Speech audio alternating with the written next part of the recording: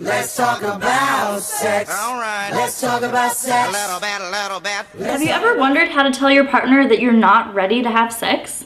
Have you ever wondered how exactly you could get a sexually transmitted infection? Have you ever wondered how to get yourself out of a potentially dangerous situation? Sierra, have you ever wondered if sexual education could be dangerous? Hey guys, I'm Jonas. I'm Sierra, I'm Zoe. and we're the PHAT team. Yeah, so PHAT, um, kind of a weird acronym, but it's the PHAT FAT. We're bringing the cool part of that back. So PHAT is promoting health among teens. And what we do is we have this big old fat curriculum Book of knowledge. And it covers abstinence, safe sex, healthy relationships. It's chock full of 12 modules covering things from condom use and STD prevention and negotiation skills. There's even some fun little role plays at the end. Yeah.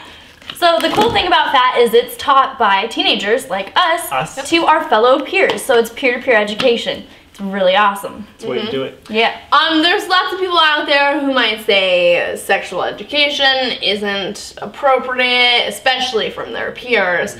But reality is, I mean, we're teens too. Uh-huh. We just want to know the facts and we just want the correct information. And you need to know the facts because this stuff is gonna come up in your life and it's better to know it sooner rather than later. For sure.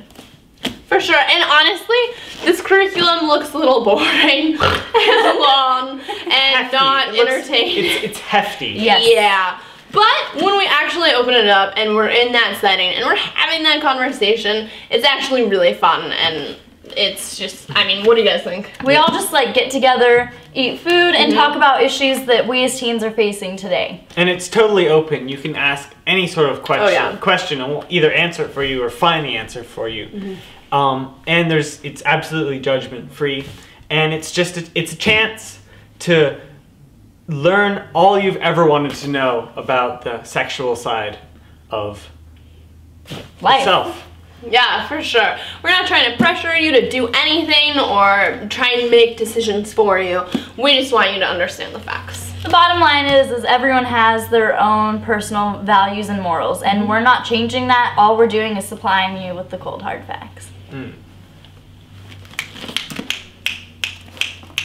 Little bit, a little bit. Let's talk about sex, baby. Hey guys, now that we've convinced you to take the PHAT class, we need to get into some of the more nitty gritty fine print. PHAT is a research project. This means that there's researchers working under a federally funded grant that are trying to figure out whether or not peer education is effective. This means that they need to gather a whole bunch of data. And while it is our job just to teach the class, there's some other people who are going to be giving you surveys, and um, we're also going to have to split you up into a control group. All right, yeah. So the control control group aspect is that um, it's so awesome and cool that this is an experiment and we have this chance to be a part of something that could potentially be really big. Um, but it's also kind of one of the rougher parts. So say 14 of you guys sign up and say, yeah, I want to take the PHAT class. So some magic computer is going to randomly look through those names and just randomly split the 14 in half. So then we have two groups of seven. And one group of seven is gonna come hang out with us and we'll do the PHAT class. And then the other group isn't gonna be able to. But no matter what, they're all gonna get prizes and gift cards, which Sierra's gonna talk about. So in order to sign up for the class, you actually have to fill out our consent forms. Mm-hmm. If you're under the age of 18, you need to have your parents sign this form. There's a lot more fine print and details about the class on this form that your parents can read if they have any questions. They can mm-hmm. always also contact us. So bring that in, we'll sign you up. You also need to sign it. And with that, you will receive a gift card by taking the surveys, and we'll have a lot of more incentives and food when you're here for the class.